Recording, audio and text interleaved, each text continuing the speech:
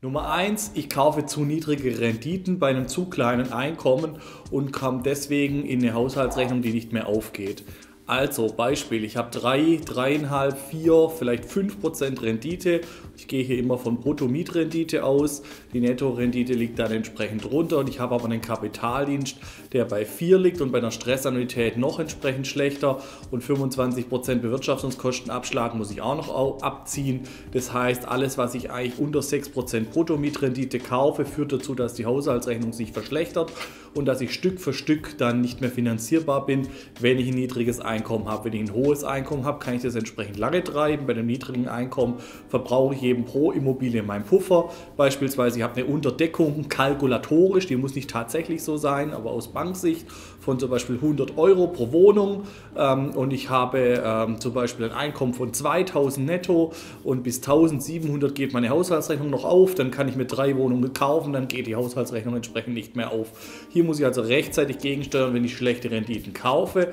Manchmal macht macht es ja auch Sinn, eine schlechte Rendite zu kaufen, wenn der Einkaufspreis umso besser war und ich dann eben durch äh, Mietanpassungen hier also äh, das massiv erhöhen kann, dadurch, dass ich ein massives Underrent hatte in dem Objekt. Aber das muss ich mir eben leisten können, so ein Objekt einzukaufen ähm, und es muss zu meinem Portfoliowachstum passen, dass ich mir so ein Objekt mit einer schlechteren Rendite reinhole. Zum Beispiel auch Denkmalobjekte, die sind zwar toll für die Steuer, aber eben nachteilig aus diesem Gesichtspunkt heraus.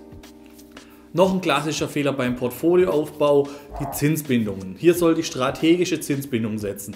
Dazu gibt es ein separates Video, welche Zinsbindungen und was hat das für einen Hintergrund, welche Zinsbindung ich wähle, 15, 15, 20 oder noch länger oder variabel.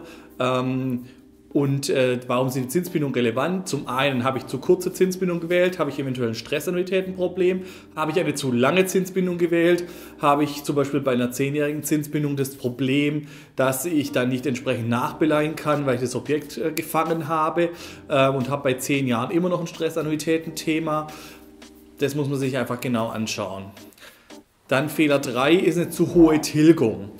Die Tilgung sollte auch strategisch gewählt werden. Auch hierzu gibt es ein separates Video. Das heißt, so niedrig wie möglich tilgen, das heißt im Regelfall 2%, aber mindestens so viel, dass ich kein Renteneintrittsproblem bekomme. Also da im Zweifel freiwillig kalkulatorisch mehr tilgen. Nummer 4, gerade das Renteneintrittsszenario wird nicht betrachtet. Ähm, das heißt, ich habe eine Haushaltsunterdeckung zum Renteneintritt. Am Anfang geht es noch irgendwie auf und nach ein paar Objekten funktioniert die Kalkulation nicht mehr und ich werde zu einer extrem hohen Tilgung veranlasst, die dann wiederum mit der Haushaltsrechnung heute nicht aufgeht. Hier muss ich eine strategische Tilgung wählen und die ähm, gibt es im separaten Video, wo sie genau beschrieben wird.